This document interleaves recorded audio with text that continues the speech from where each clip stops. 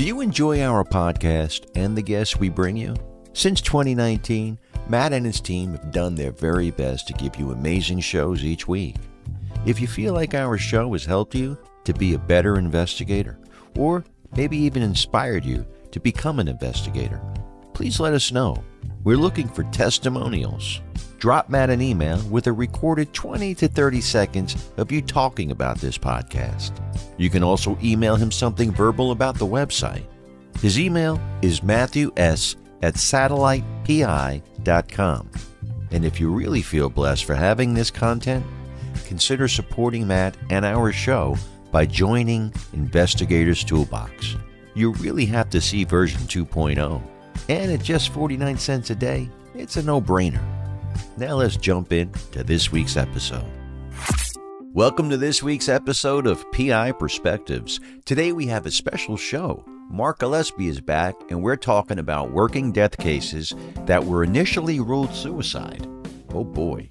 Mark explains how he got into this niche selection of investigations and what to look for if this type of case comes across your desk.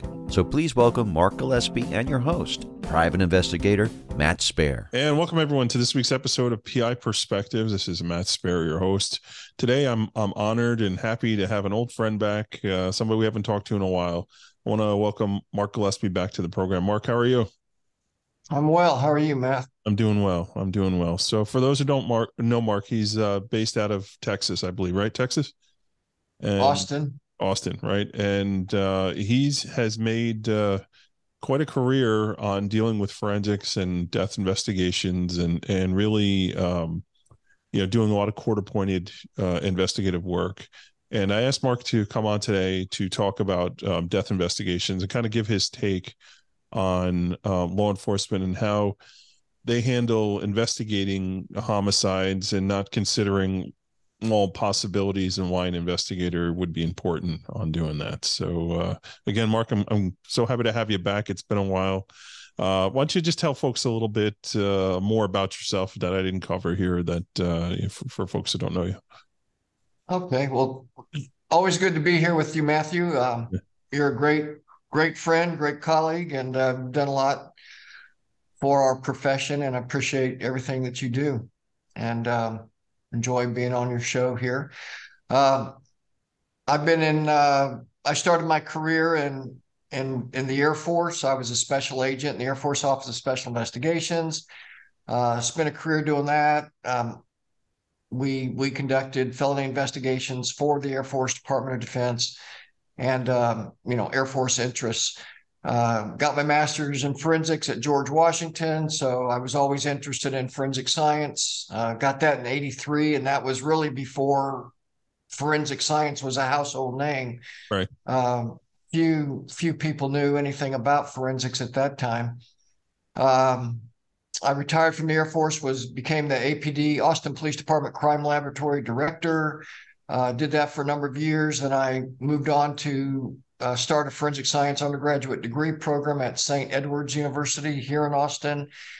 Uh, while I was teaching, uh, I got my PI license, and for years, I, I for a number of years, I kind of struggled with what did I, you know, what did I want to be when I grow up as a PI, and right. I just didn't know what. Um, you know what I wanted to specialize in. So I kind of did it all, just like we did in OSI as special agents. We just kind of ran every investigation, and um, so finally I just honed it down to, um, you know, basically a couple areas: criminal defense and uh, forensic science consultations, and and that's what I've been doing for for many years, and enjoy it, love it, and. Uh, so that's what I'm doing now. I've I I do a lot of court appointed cases here and and uh, throughout Texas.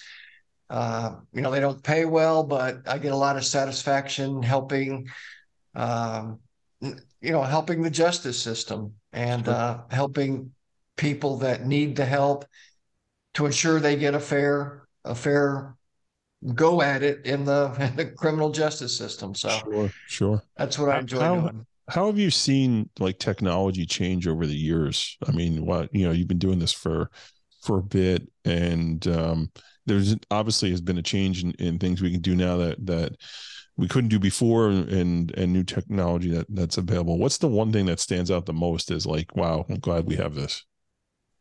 Well the, it's interesting that you say that because i was having a conversation um, with one of my investigators just two days ago.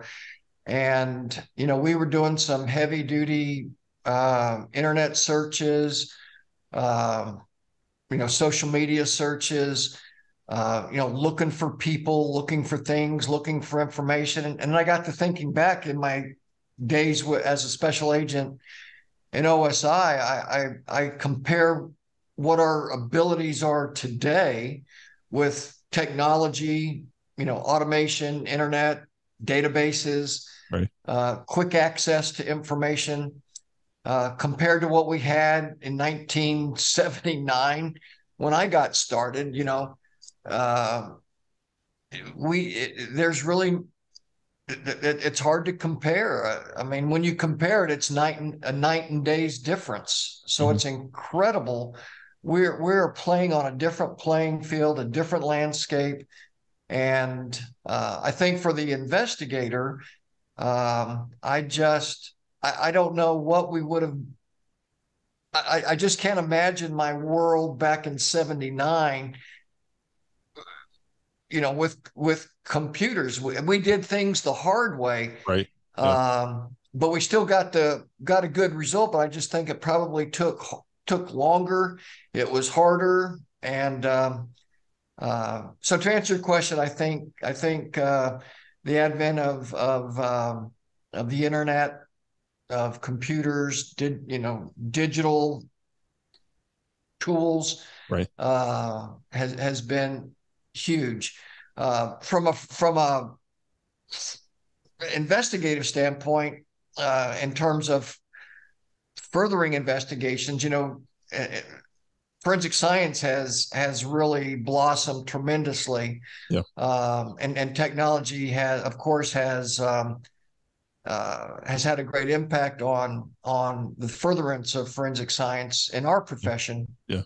Um, you know, and DNA. You look at the I make I make the argument television, right? CSI, all those like programs that that really open up the doors for people to understand what forensic science is. It isn't just a bunch of nerds sitting around laughing about, you know, the coefficient of this and that. you know, like there's more to it, right?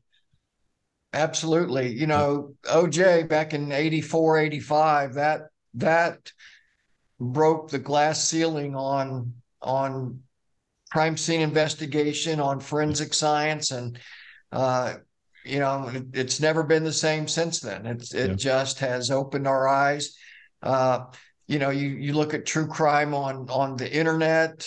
Uh, that that is so that captures everyone's attention uh, yeah. more so than than many other things. So yeah, it's, I mean, it's pretty cool. It's amazing how you know we go to you know reading Sir Arthur Conan Doyle, the, the you know Nancy Drew and the Hardy Boys and all this other stuff, and and and you know that's that's our youth, right? That's that tells us what the investigative mind has and can and can do. And now you start factoring in technology and cool stuff, and somewhere in the middle, you get a good investigator uh, you could throw the Jetsons in there too, with all the technology, right? right?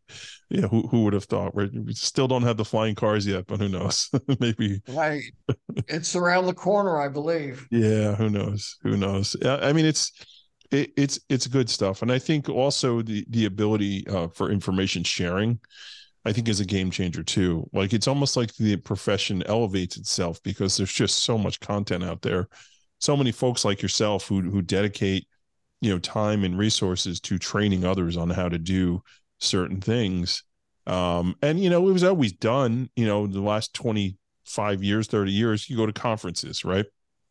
Now it's virtual conferences. Actually we're recording this one today as a virtual conference is going on that i gotta when we're done i gotta tap in and get a part of for for nally. Um right. you know and it's just like consistently there's there's content that's uh that's out, out there. And it's uh it's pretty amazing. Really uh really cool. It, it definitely elevates the profession i think in my opinion. So good stuff. I, I agree. Yeah And uh, you know, we we were trying to figure out what to talk about today, and we were talking about you know, do we talk about junk science? Do we talk about murder investigations? And the murder investigations one because hey, it's murder, and it's always more interesting. But man, we we are going to have you on again at some point and talk about that because it, it the the downfall of technology and and um, you know having uh, all the things at our fingertips is that folks come up with these ideas on how to do certain things and and create these sciences that are very sexy in a courtroom but could be questionable as well right? So that's that's something that uh you know is uh it's it's a lot to swallow for sure. I agree. Yeah it's all uh it's all interesting to see uh how, how it goes. I mean i remember myself being back at John Jay College of Criminal Justice in New York. Um, you know, it's my alma mater, and you know, I got out of there in 1995. So you know, you had thrown um, you know the OJ thing out there. I mean, like I was square in the middle of all that. you know, the white Bronco was 94, right?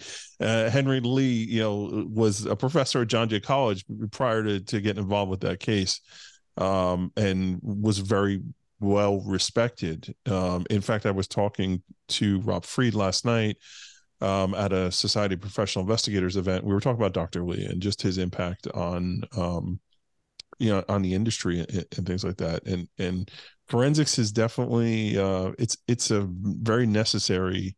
Um, cool part of what we do here so um, it, it's been very interesting to see how the popularity has grown and how the technology has grown into it and uh, you know, and it it it helps and hurts on the murder investigation stuff, which we're going to dive into in a little bit, right?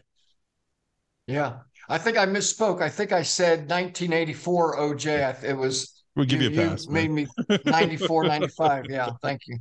It's okay. All, all, all the years they, they kind of meld together. So I just had a birthday. I'm losing my memory. It's all right, man. It's all good. Um, listen, I'm I'm not much younger than you, so I'm I'm heading down that, that road too. Um, but it, it's all good, and you know, it. I tell you though, it's weird though because like for cases I work on, as much as we joke about like losing memory and stuff, like there's certain times where I'll, like I'll be in certain areas of of New York City. Even I'm just like, yeah, I worked on a case over here, worked on a case over there. I can tell you the exact fact pattern, everything that happened there, and uh, mm-hmm. yeah, I'm sure sharp as a whip but you know, remind me to pick up my laundry on Tuesday at four o'clock, and I'm I'm screwed. it's, it's not going to happen. Where'd I put my keys? Exactly, exactly. Um, so we're going to jump out and take a quick break, and when we come back, I really want to dive into, you know, the investigating uh, murders uh, slash suicides. You know, like the differences between that and and some of the um, some of the reasons that an investigator uh, you know, privately uh, you know could really help that situation and and really help determining into uh, what happens. So everybody sit tight, and we'll be right back. Have you heard about the 2023 Slick Conference? You're not going to want to miss this event in Augusta, Georgia on March 13th and 14th. The conference will feature practical topics, outstanding speakers, and happy hour networking sessions, plus more. There are 16 CEUs available for Georgia and 12 CEUs available for South Carolina. Topics include practical aspects of defensive shooting, justifiable use of force with a taser, fire investigations, courtroom deposition testimony, how to navigate open records request, human trafficking, recognition and reporting, and so much more. Learn all about it at cga-solutions.com you guys have been hearing uh, for a long time about how much I love Crosstracks, but now you're going to hear from somebody else. So we got George Gerges here. George is a member and a user of Crosstracks. George, tell me real quickly what you love about Crosstracks. The simplicity of using it and the ability to customize everything that you could do with Crosstracks is awesome. It actually allowed me to take the way that I do my business and implement it into their system. And not only am I able to manage 10 or 15 cases, I'm able to manage 50 to 100 cases with the same effort. Fantastic. So Crosstracks, um, the case management system, they are SOC 2 certified. Basically, that's an encryption, really an upgrade. They're the only ones out there that are doing it. So please support this great sponsor that supports our show. Uh, check them out. The links are in the show notes. Crosstracks, if you're an investigator, you should be using them today. Check out the PI Institute of Education at piinstitute.com Since 1989, Kelly Riddle has been teaching on subjects such as surveillance, nursing home investigations, insurance fraud, domestic investigations, hidden assets, and accident scene investigations. The PI Institute of Education is a featured learning partner in the investigatorstoolbox.com. So check out the free content on the site, then visit the Institute for more great savings on additional classes. Satellite Investigations is the premier investigation resource in New York State. Founder Matthew Spaier was named PI Magazine's Investigator of the Year. If you need investigative assistance in New York State, visit their site at satellitepi.com. Get results, not excuses. Looking for an insurance agent that puts you first? Every PI business is different. That's why OREP Insurance can shop multiple markets to ensure you get the best coverage to meet your unique business needs. OREP's model is business by the golden rule, and for over 20 years, they've built their business by putting their clients first. So come enjoy a fast online application and same day certificates of insurance at orep.org. OREP has coverage for armed investigators, executive protection, and even has a separate policy for security firms. The application takes less than five minutes, so visit orep.org today. orep.org. And welcome back to PI Perspectives. This is Matt Spaier, your host. I'm here with Mark Gillespie from Austin, Texas. Mark, welcome back to the program. Thank you. All right. So before we took our break, we uh, had teased uh, doing work on murder investigations, and this is something that you're passionate about, and uh, you know you, you've, you've seen your fair share over the years, and um, know, we wanted to talk about the private investigator's role in all that. Um, so let's let's dive in, man. So what what's been your experience in dealing with this? Well, my experience has been uh, mostly in the realm of court appointed cases, uh, capital murder, murder investigations. Um, you know clients of all ages from from young teens to you know 75 80 years old. Uh, suicides i've dealt a lot uh, dealt with a lot of cases involving uh, uh, you know questionable manner of death determinations and and that's something i really like getting involved in. Right. Um, you know many times when we see cases of uh, a person, you know, who's died alone. The police get called. Um, they respond. They examine the scene. Um, you know, there's nothing that's, in many cases, that's really obvious in terms of uh, someone else being involved uh, when you have a dead body.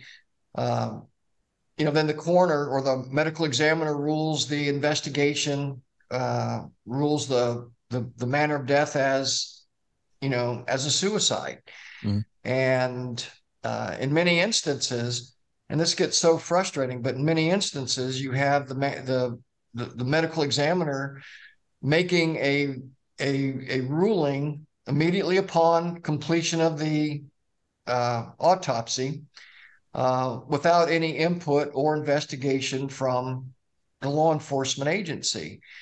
And and I have to tell you, there's it is it is it is not right for a medical examiner's office to to do that in many instances without the benefit of a thorough investigation. Right. Why do you think uh, that we see some?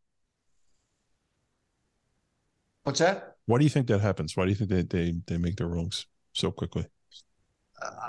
I think they um, they just want to get through it. They're so sure for themselves of what they think happened. Uh, you know what what they have on a on the table before them appears to be cut and dry, when in fact, in many instances, it's not. Um, but but you know, I've gotten involved in several cases where I I have been hired to challenge the ruling and. Uh, and I've been successful in, and this is a long drawn out process, but I've been successful in in getting the medical examiner to to change the ruling from suicide to undetermined or suicide to accident. Right. um, and suicide to homicide. So, and, and that's very, um, that, that's extremely satisfying when you when you're able to do that, and it's also very uh, it's very refreshing when you have the me- some in the medical examiner community that will back off and say, "Hey, maybe maybe we didn't look at all the facts of this case and and we made a rush to judgment." So, oh, Gillespie's here. Better go dot my i's and cross my t's. Uh, I wouldn't go that far, but, but thanks. but it, but, but you know, when you have a death investigation, um, and, and when an autopsy is performed, it's it's I can't emphasize enough how important it is to have right.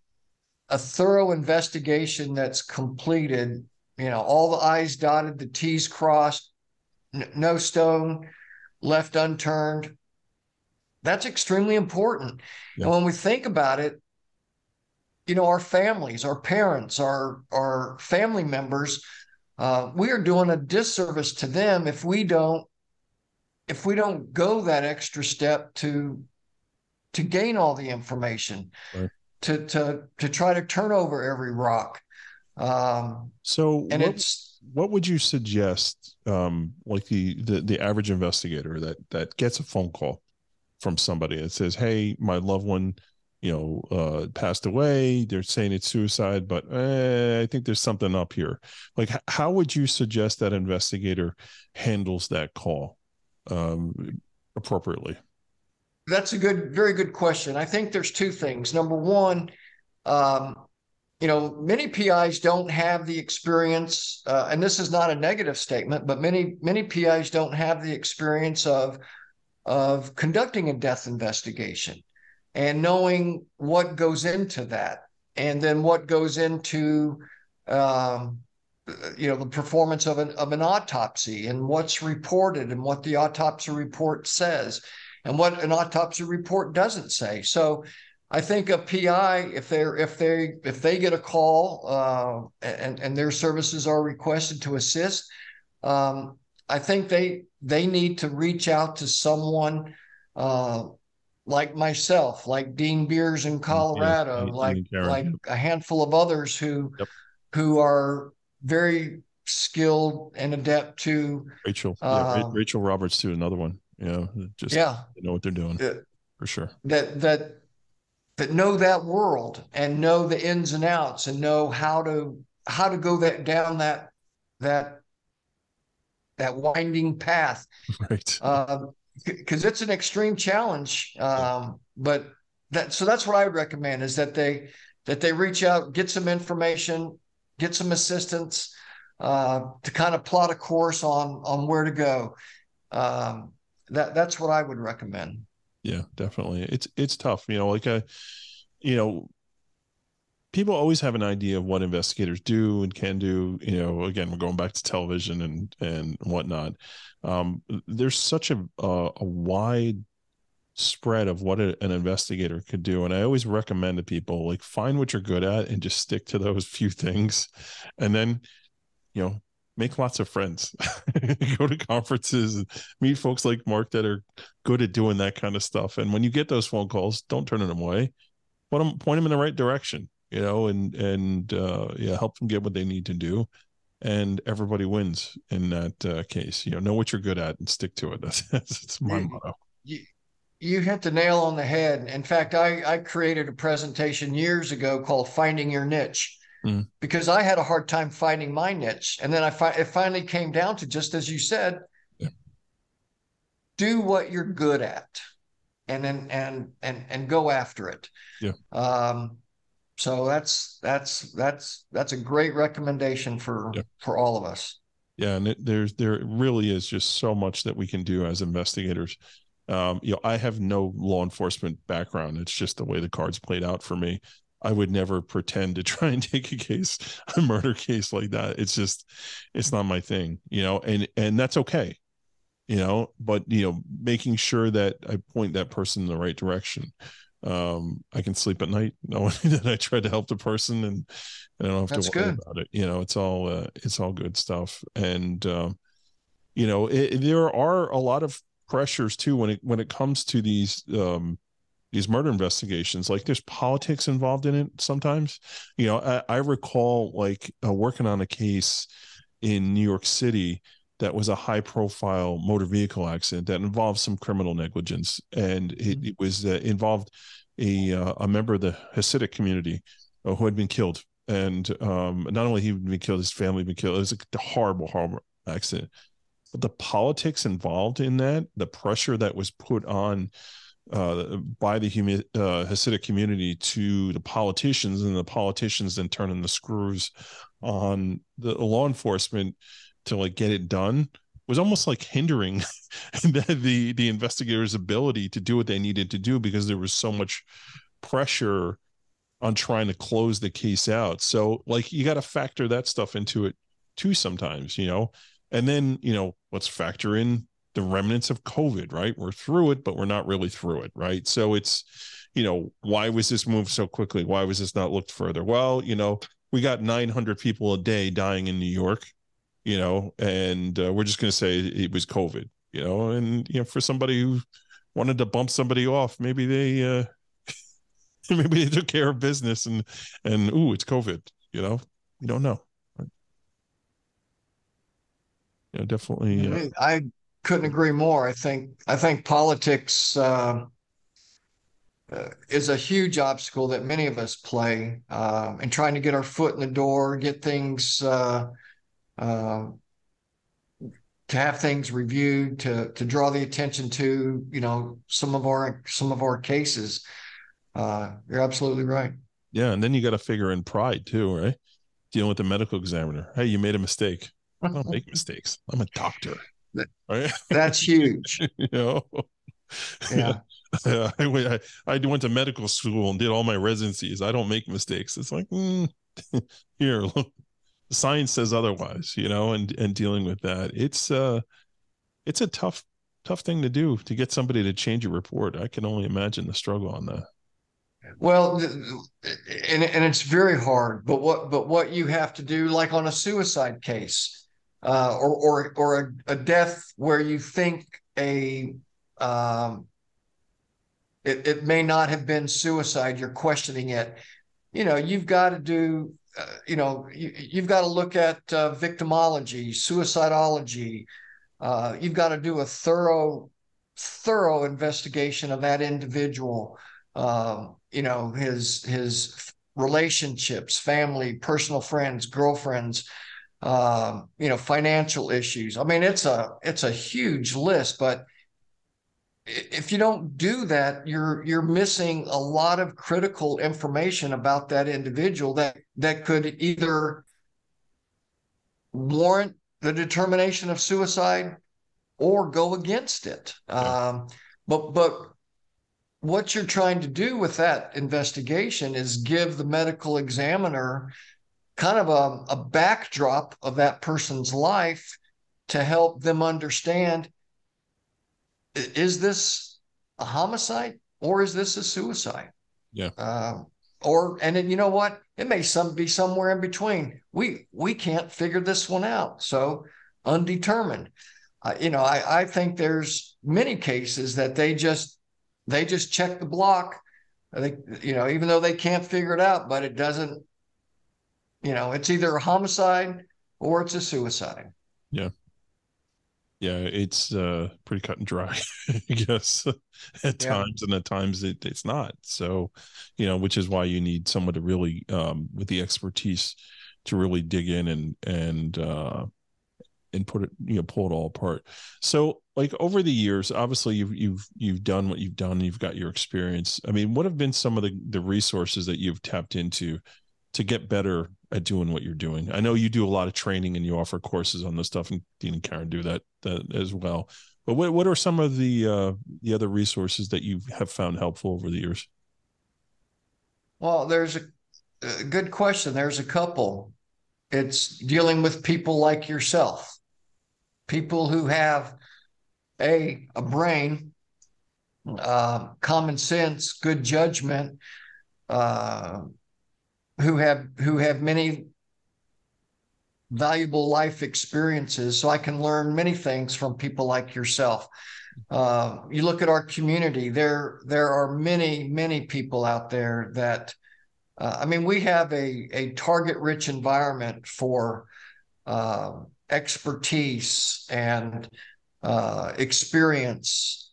And, um, you know, you, you, you mentioned the word pride and ego a little bit ago, and the PIs that don't succeed or that don't really get a lot of good jobs in many cases are the ones that think they can do it all themselves and and and and that basically they find themselves on an island yeah. um, and so i think you know one of the biggest things we can do uh, is is you know drop our ego drop our pride and reach out to people that that have a wealth of knowledge and, and experience and pick their brain, use them to help us do our job. Um, you know, I, I, I think that's, that's crucial.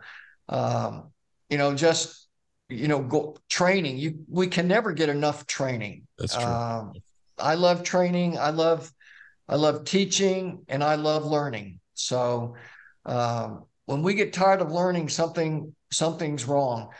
Um, so I think it's extremely important for all of us every day to to learn something that we didn't know the day before. Yeah. Um, but I think those are probably two of the biggest things that we could do to improve ourselves.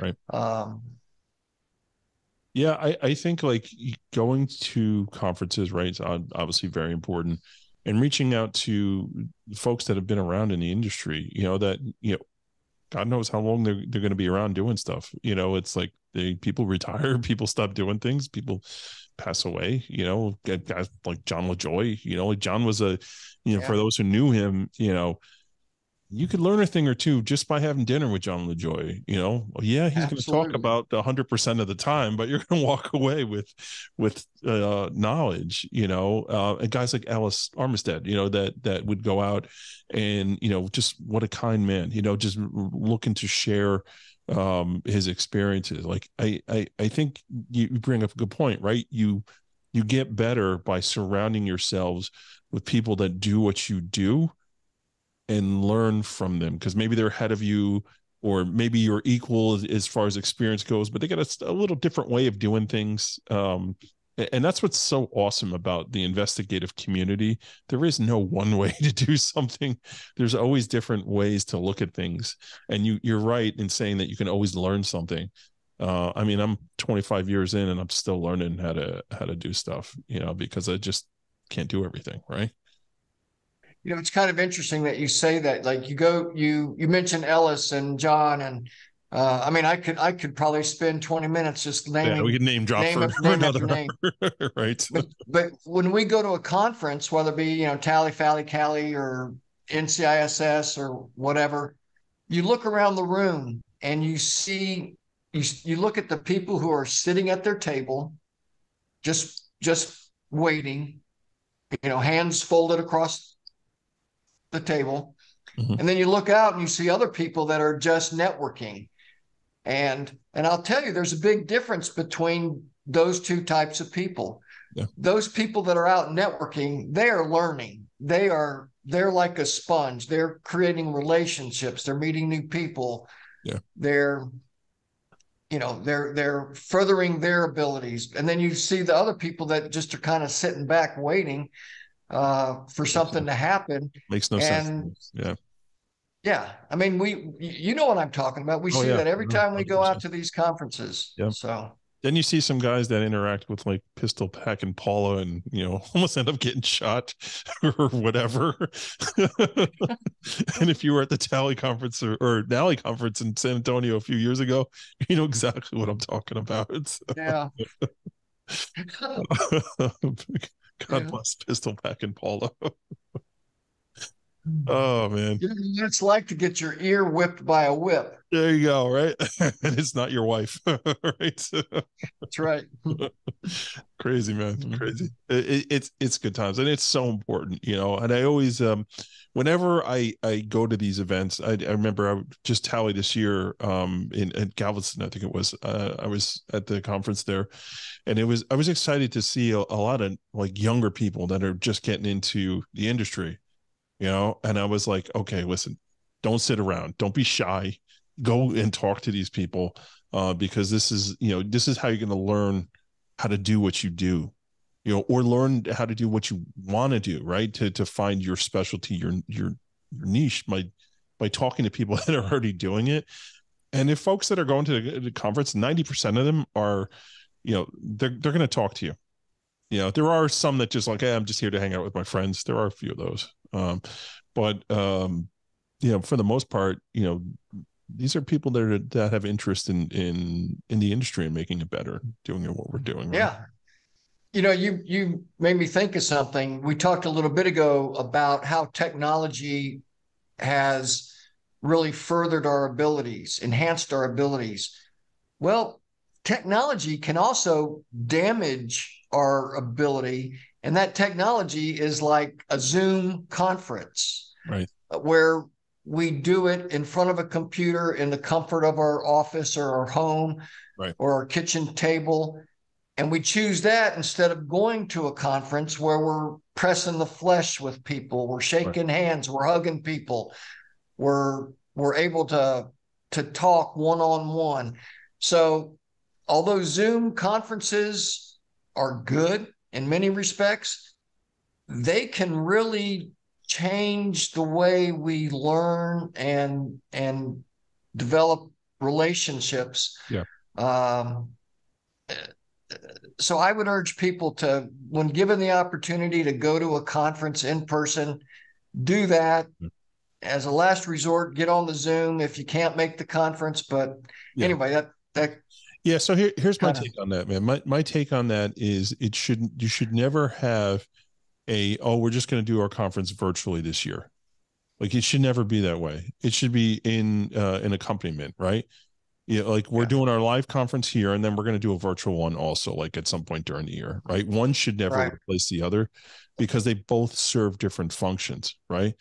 Hey, we're recording this. It's Friday it's 10 almost 11 o'clock uh, my time. When i'm done with this i'm going to go jump on a a, a a a virtual conference for for NALI. um and I, I love that i'm able to do that that you know i can pop in learn a little bit interact with with some people um and then you know tap out. Like that's good education wise but the social uh, part of it, eh, I'm, I'm, won't have the opportunity to do that. And every kind of breakout room and happy hour room or whatever they have, it's good that they do it, but it's it's still not the same.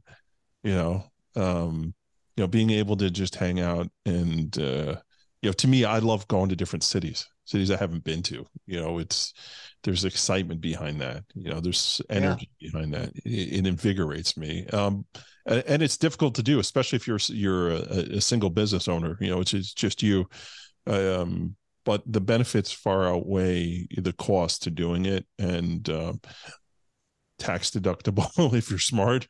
And uh you know it's something that you really should do um yeah, to make you better at, at what you're doing. Yeah, so good point. um so we're gonna wind down over here. And uh mark it's so great to to see you again and and uh, have you jump on and just share a little bit of of your knowledge um on that. So the the gist of everything is you know these murder investigations if it's not your wheelhouse find somebody um, that that has an expertise in it and just pick their brain. Uh, i'm not saying turn it over to them but but you definitely want to have a conversation with them about the right way to to handle these things. Yeah um, the other thing is you know there's there's so much material out there to review. If you have a passion in doing this type of work um, there's content all over the place. Um, you know there's teachings by uh, mark and and others out there that, to to go about doing it so mark if folks wanted to get a hold of you how would they find you Uh, I have a, a website, Mar, uh, GillespieInvestigations.com. Um, my company name is Gillespie Forensics and Investigations. Mm. Uh, or they can call me 512 680 5851. Mm. Uh, they, they can Google me, find me, uh, look look for me on the TALI Texas Association of Licensed Investigators website. F- find an investigator. Um, yeah, that's it. That's, that's great. Just a few. Yeah, yeah, it's all good. And uh, again, this is a resource here, folks. So part part of the the reason for the show is to to to highlight folks like Mark that have a certain expertise and and do the things they do. So um, uh, thank you everyone for tuning in. Uh, we appreciate you checking out. Uh, we'll have a, another show uh, next week, and uh, stay safe out there. And uh, we'll catch everybody next week on the next show. Take care. Thanks for checking out the episode. Mark's a great guest and has a real heart for training and raising up our industry. A special thanks to the SLIC Conference, Crosstracks, Satellite Investigations, PI Institute of Education, and OREP for sponsoring our show. So make sure you support our great supporters. Also, don't forget about investigatorstoolbox.com. You can type in version 2.0 25% to save 50 bucks when you join. If you have a question or a comment about the show, just email Matt at matthews at satellitepi.com. You can also find him on LinkedIn, Instagram, and Facebook. He's a social media butterfly. We want your feedback to bring you the best shows possible, and we'll be back next week with a new show. So make sure you tune in and stay safe out there.